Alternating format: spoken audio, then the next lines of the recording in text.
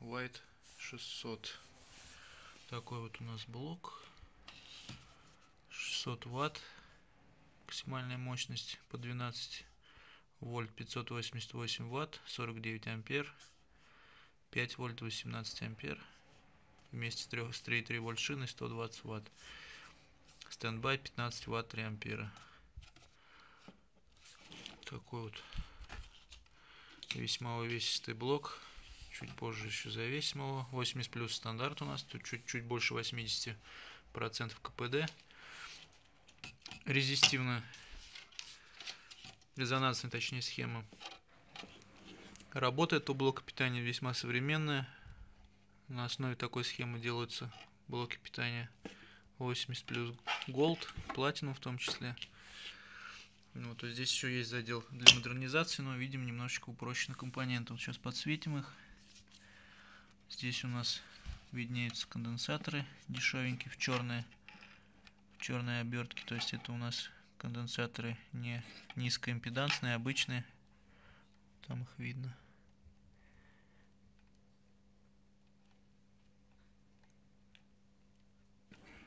Так, ну в целом схемотехника у него должна быть хорошей. Так, в комплекте у нас кабель. Соответственно, еще крепежные винты у нас есть. Тут у нас на коробке нанесена спецификация. И, соответственно, еще у нас по разъемам здесь, в принципе, все расписано. Так, это у нас здесь нарисовано. График КПД приведен. Эффективность в зависимости от потребляемой мощности. Понятно, что она максимальная вот примерно на 50% мощности. Уровень шума у нас у нас где-то после 25 дБ уже начинается такой слышимый сильно раздражающий шум даже после 30, наверное. Ну, где-то вот при 60% мощности. 60% от 600 ватт, 360 ватт. Так, DC-DC у нас технология. Здесь, то есть у нас здесь опорное 12 вольт напряжение и 5 вольт и 3,3 вольта формируется через DC-DC стабилизаторы высокоэффективные. То есть еще за счет этого в том числе достигается КПД 80%. Но в основном за счет резонансной схемы. То есть здесь не классическая схема с групповой стабилизацией. Здесь у нас DC-DC и еще плюс сама первичка, она у нас по резонансной схеме работает. Так, вот одна у нас 12 вольтовая линия здесь написано. Типа высококачественный 120 миллиметровый вентилятор. А, вот она у нас DC-DC технология. И вот у нас теперь по кабелю. Немножечко мне не нравится то, что кабели одного цвета черный. У меня, в принципе, есть такая же модель, только 450 ваттная, то есть MPE 400, точнее White 450 у меня моделька. Хорошо на себя зарекомендовала, немножечко, конечно, шумноватая, но в принципе в пределах разумного, то есть не сильно шумит. Эта модель 600 ваттная. Что у нас здесь? Ну, стандартный 24 пин. ATX под PCI Express у нас два, две колодки, 6 плюс 2 пинов.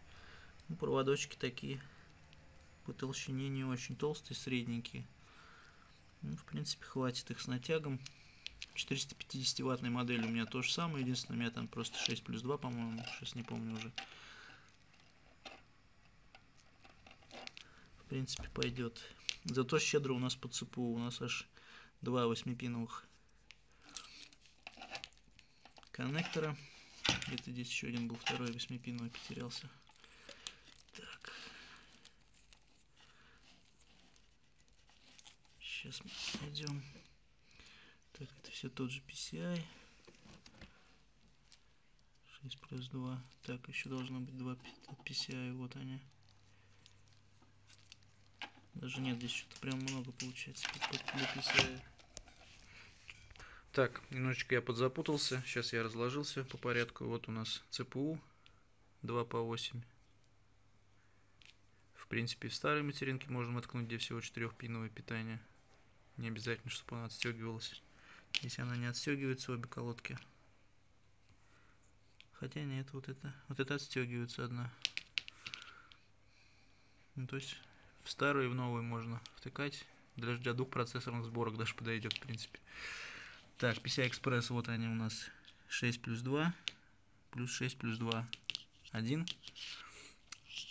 Одна линия, и есть еще вторая точно такая же линия. Вот она 6 плюс 2, 6 плюс 2. То есть, пожалуйста, две видеокарты игровые, достаточно с хорошим потреблением. Можно подключить. В принципе, толщины хватит. Примерно на 150 на 200 ватт в каждой, в каждой косе вот в этой. Даже по 200 ватт, наверное, вытянет она. Каждый из этих кос, то есть 400 ватт по этим линиям можно отдать примерно по этой линии примерно 200 ватт ну наверное 150 даже где-то потому что тут всего 600 то есть в принципе два процессора если 100 ваттных это здесь 200 ватт ну и идея видеокарты по 150 ватт допустим. 300 ватт получается. 300 плюс 200 500 ватт. У нас 588 он может отдать потому что стандарт ATX так тут нигде вроде не написано но по-моему там 291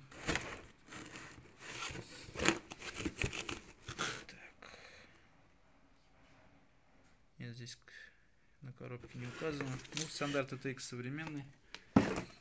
Поэтому у нас потоку такая отдача. Там 49 ампер, 588 ватт при мощности 600 ватт.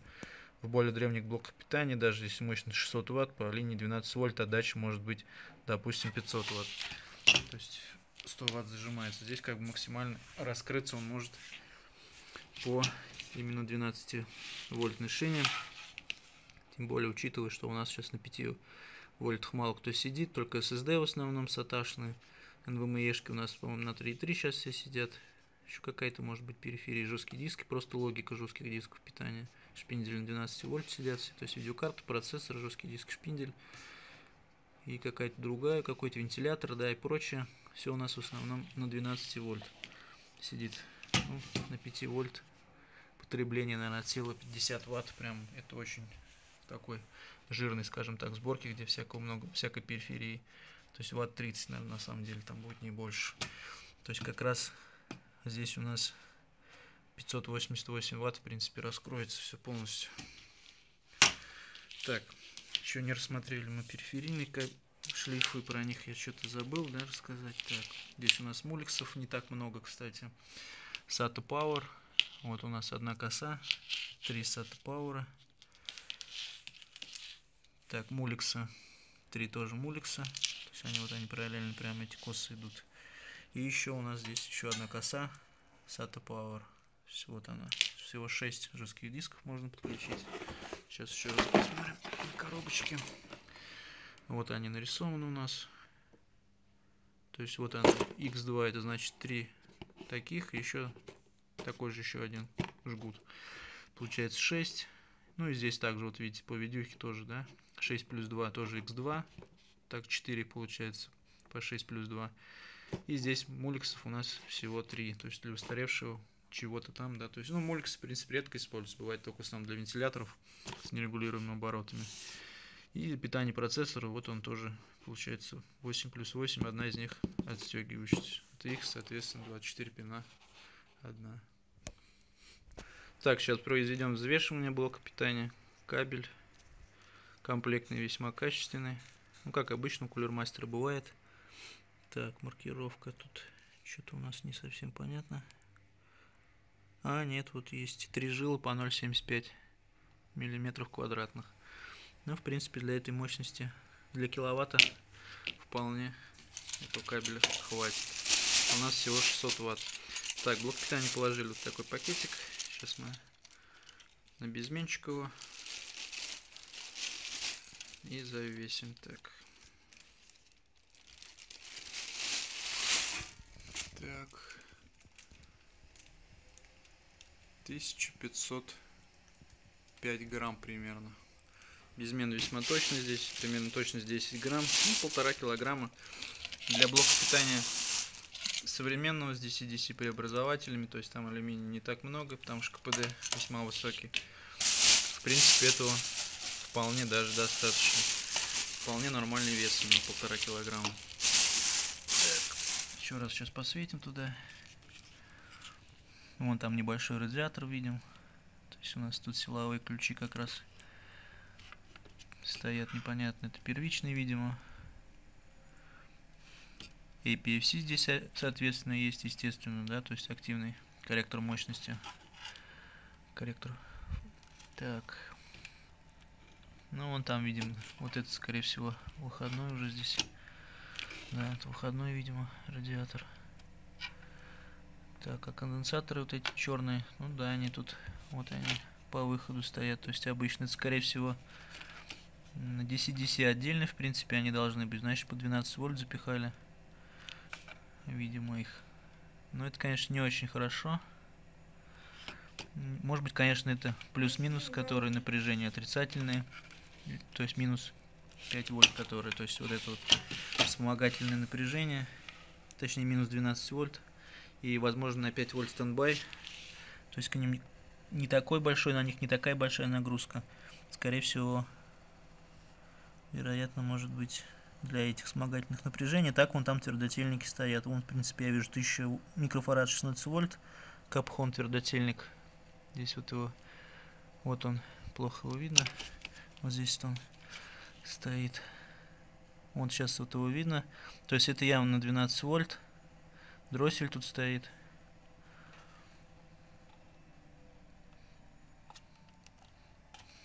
Так, что тут еще? Здесь он мелкий капхон, 15 вольт. Ну, 500 микрофарад, 10 вольт. Так. Ну и в целом. Так, управление вентилятором еще возможно здесь реализовано. Скрывать не будем, естественно, потому что на гарантии. Ключи вон там видно стоят. Тоже 1000 микрофарад 16 вольт. Не знаю, но здесь модуль должна отдельно быть. Такая еще решетка есть здесь. Ограничение, видимо, между первичкой. Ну вот как-то так. Есть блоки питания 80 плюс бронза сертификат. Есть блоки питания 80 плюс бронза с сертификатом. Здесь просто 80 плюс стандарт. Они прям чуть-чуть дороже, лучше брать их. То есть здесь гарантия 3 года, тоже весьма высокое значение, но у тех бронзовых 5 лет. То есть подозреваю, что как раз таки это не просто так, и возможно связано с тем, что применены более качественные конденсаторы. Как раз таки опять-таки нет этих низкоточных конденсаторов, да, то есть высокоимпедансные не стоят конденсаторы, более качественно использованы. Вот, но бывает, конечно, что даже такие конденсаторы, если они качественные, обычные, тоже весьма долго ходят. Но обычно все ставят блоки питания именно специальные конденсаторы. Такие зелененькие они обычно. Ну, вот. ну здесь черные я вижу и еще твердотело стоят. В большом диапазоне нагрузок, скажем так, производится.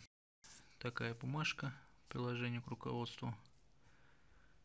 Здесь у нас то, что эффективность более 80% при обычной нагрузке заявлена. Но, в принципе, так оно и есть. Я просто говорил, что чуть, чуть больше 80%. Вот тут Уточнение. Еще важный параметр среднее время наработки на отказ более 100 тысяч часов. Как раз вот по графику этой эффективности, если он тут правильно, конечно, нарисован, около 89% получается даже здесь в пике. Где-то 90%, но это такого быть не может здесь в принципе. Потому что здесь даже не бронза у нас сертификат. Ну и, соответственно, при ограниченной мощности это сделано. То есть там сертификация когда он сертифицируется по 80 плюс стандарту, все-таки на большем диапазоне нагрузок, скажем так, производится. Диск не мог раскрутиться, то есть э, во время блока питания, это хотя бы базовый замер, нормальным точным мультиметр, мультиметром напряжения, который выдает блок питания. Конечно, не всегда мультиметр покажет нам колебания напряжения, да, то есть э, шумы различные по напряжению. Лучше, конечно, использовать осциллограф хороший, но осциллограф, к сожалению, осциллограф есть не у всех, и не всегда можно им понять проблему. В частности, у меня была проблема. Э, здесь вот конкретно блок питания Cooler Master MVE 600, у меня такой же блок питания есть 450 Ватт. Там у меня возникла проблема, что жесткий диск стоял, Seagate Barracuda 1 терабайтный, новенький, 2021 года у него периодически отключался шпиндель, то есть начинал колбасить его, диск не мог раскрутиться, то есть э, во время копирования файлов даже это могло происходить. То есть какое-то время он работал нормально, потом начинал глючить. А, Все я уже перепробовал, менял кабель, соответственно, просто очень такая плавающая проблема непонятная. А, поменял даже контроллер, поставил внешний PCI-Express на SATA 3. Думал, материнка у меня уже глючит, в общем, поставил контроллер, также не помогло. Даже стало хуже, то есть диск при включении его колбасил, он даже скрутиться не мог нормально. До этого он хотя бы раскручивался, иногда только его колбасило. А, потом, значит, в ходе тесты решил я попробовать, там, потому что вот таких вот линий идет несколько, да, то есть на э, SATA Power линии. Здесь вот, сейчас я включу свет, подсветочку. Здесь вот идет одна линия, вот видите, да, SATA Power, то есть она идет ниже, ниже, и вот еще один хвостик. То есть их три получается на линии SATA Power. Есть еще одна такая же линия, потому что здесь можно подключить 6 дисков. Там в 450 блоке питания ситуация аналогичная. И вот на одной из линий э, был проблемный хвостик и, скорее всего, проблемная сама линия. То есть, не знаю, что-то там где-то не пропай или еще что-то. Э, и, соответственно, за счет этого, видимо, происходит падение напряжения, скорее всего, именно по 12 вольт, потому что не раскручивается шпиндель, вряд ли там по 5 вольтам проблема. Э, вот. И, соответственно, как я искал эту проблему, я замерял просто на муликсе напряжение и также осциллограмму снимал осциллографом именно с муликса. А муликс это по сути другая линия, хоть они вместе соединены там внутри блока питания, да, то есть с одного, скажем так, э, преобразователя идет это напряжение, но они расходятся именно по проводам. Э, то есть еще зависимость есть от качества этих проводов, качества самих коннекторов. Переключил я на другую линию, соответственно, еще одна линия там есть, на которой у меня SSD-шка висела все нормально, проблем нет. То есть, и причем, кстати, на этой же линии, вот на проблемной, висела еще одна SSD-шка, другая уже. А, там, видимо, ну, проблем, скорее всего, не, не по 5 вольтам, то есть именно по 12 вольт, либо у SSD-шки 5 вольтам стоит конденсатор, либо там напряжение падает, допустим, до 4 вольт, жесткому уже не хватает логики его. А SSD-шки, например, хватает, потому что они обычно от 3 3 вольт все-таки там внутри, скорее всего, внутри него еще преобразуются. То есть, может быть, в этом причина. Вот, это я ремарочка такая, то, что может быть проблема и в кабеле. Поэтому, когда проверяете блок питания, старайтесь проверять на всех коннекторах, в том числе, если что-то глючит жесткий диск или еще какое-то периферийное устройство подключено, которое к одному из коннекторов, желательно проверить напряжение на нем. Конечно, на SATA Power это не всегда представляется возможным сделать под нагрузкой, но хотя бы вот так потыкать просто сами контакты. Сейчас мы найдем Уликс. Компьютер сейчас просто включим на холостом ходу и замерим напряжение на муликсе. Так, вот у меня гребенка с муликсами. Просто я здесь все уже упаковал, на стяжке закрепил, то есть проводов много. Там он ее PCI экспрессный, но PCI экспрессный смысла мерить нет, напряжения на них. Просто померим на муликсе здесь, учитывая то, что одна линия идет. Сейчас поставлю на паузу, неудобно одной рукой делать. Так, сразу ткнулся я в 12 вольт. Плохо, конечно, что здесь не разноцветные провода. Сразу не поймешь. На память просто я не помню, где слева или справа 12 вольт. И опять-таки здесь в зависимости от стороны, какой смотришь здесь. Ну, конечно, ключ есть здесь на муликсе.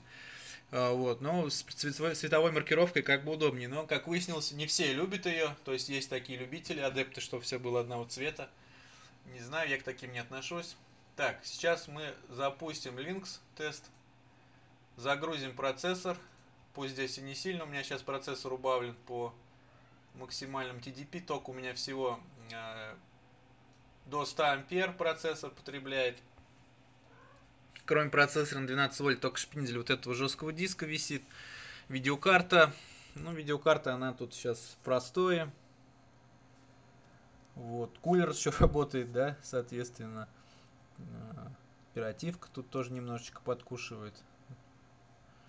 То есть, ну, примерно ток где-то 110 ампер, наверное, прям максимум в пике будет.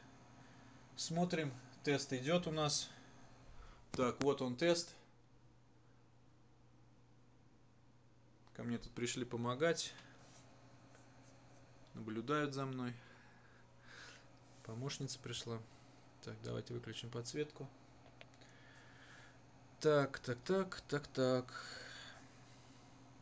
Ну, кстати, очень хорошо. В принципе, ну это, конечно, муликс я меряю, да, а, но, тем не менее, они все равно висят на одной линии. То есть, если была бы просадка по 12 вольт, сейчас в шине, да, соответственно, здесь бы на муликсах у меня была бы просадка также. То есть, на SATA Power должно быть у нас такое же напряжение. Я, к сожалению, не помню распиновку SATA Power. 5 проводов у нас. наверное, еще 3,3 вольта подается, не помню. Но смысла замерять нет, потому что Mulix, Mulix и SATA Power тем более вместе соединены. Сейчас посмотрим еще по 5 э, вольтам напряжения. Так, э, ну давайте пока я тестирую. Сейчас еще тогда включу процессор. Точнее, Linux сниму тест и включим э, тест видеокарты фурмарки. Прогоним ее. Так, запускаем GPU стресс-тест. То есть у нас Full HD. Видеокарта 1080, 1050 Ti. Потребление есть у нас. Так, смотрим. Ну, все здесь у нас без изменений. Мультиметр этот весьма точно показывает. Здесь, правда, при 12 вольт всего два знака.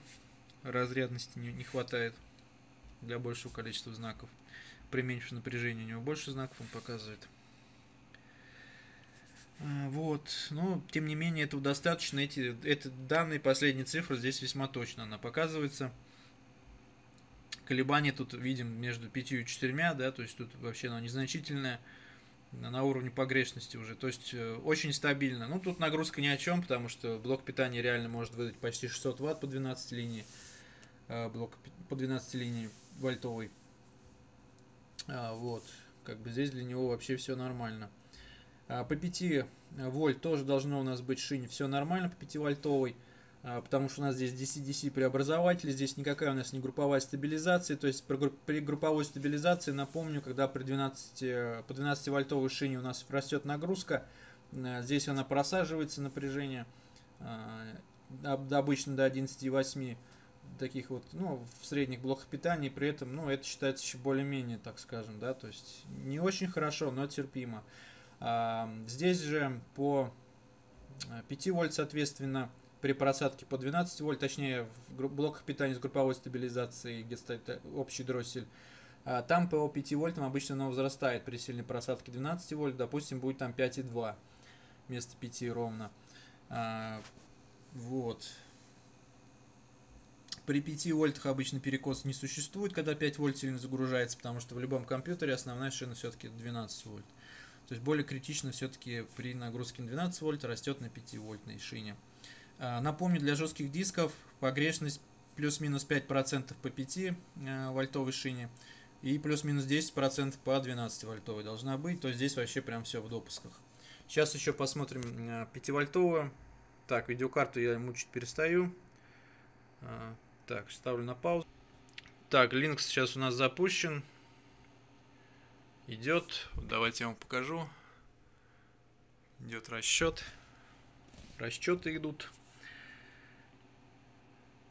Напряжение у нас стабильно. Ну, чуть выше оно 5 вольт, но это в принципе допустимо с запасом. А, плюс учитывайте еще то, что здесь, э, ну, здесь, конечно, по 5 вольт, даже если жесткие диски будут питаться, сильного употребления не будет. Но, тем не менее, небольшой запас они сделали, потому что он провода длинные весьма. То здесь, я меряю на последнем Оликсе, в этой, э, получается, в этом жгуте, скажем так, да. То есть у меня, в принципе, напряжение максимально просаженное, то есть на более верхнем, правда здесь небольшое, конечно, расстояние, но тем не менее, под, когда будет нагрузка э, по этой линии, э, на более верхнем будет напряжение чуть повыше, если будет на нижнем нагрузка. Вот, из-за сопротивления проводников. Так, Linux выключаем. Видеокарту я больше не буду запускать, смысла нет, потому что видели вы, что особо ничего не меняется. Так, 134. Опять запускаем. Нажал. Так, ну слышите, слышите, процессор загудел, наверное, слышно. Ну, тут небольшая просадочка. 133. Ну вот я отключил опять. Так, ну вот маленько вернулось. Ну да, потому что у нас DC-DC берет, а, в принципе, 12-вольтовую шину, но с другой стороны он должен компенсировать все это напряжение, потому что он понижающий. А, вот, ну ладно, не суть здесь. Здесь так все нормально. Передраться, в принципе, не к чему.